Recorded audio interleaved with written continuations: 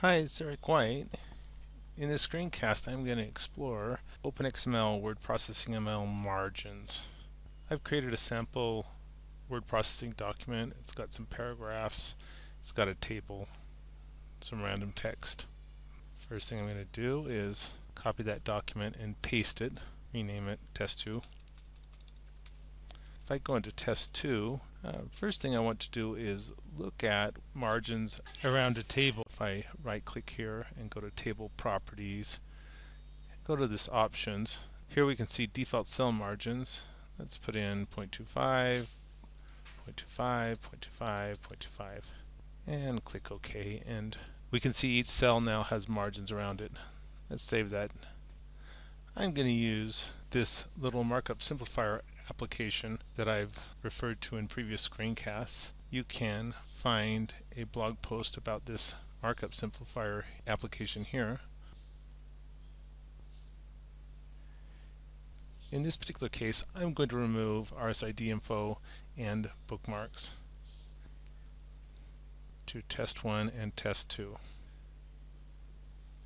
Now I'm going to compare those two documents.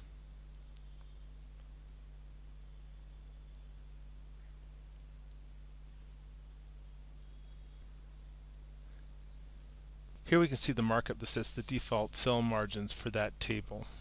Pretty straightforward. Now I'm going to go through an experiment of setting the left margin for the entire document. Copy that document, paste it, rename it. Now I'm going to select the entire text and click the indent.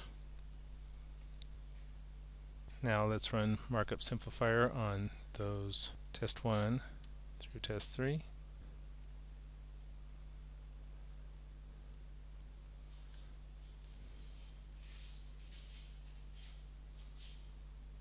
Let's compare them.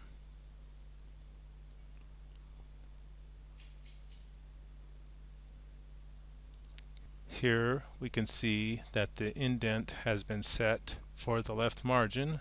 This has been set for each of the paragraphs in the document.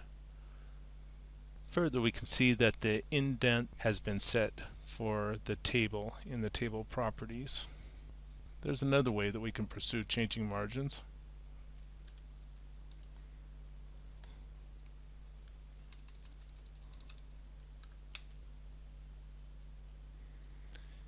In this document, let's go to page layout, go to margins, and I'll say that I want to change custom margins. I'm going to change the left margin to 1.5, save it, close it, go to markup simplifier, apply it to all the documents, compare files, test one, Test 4 is the new document.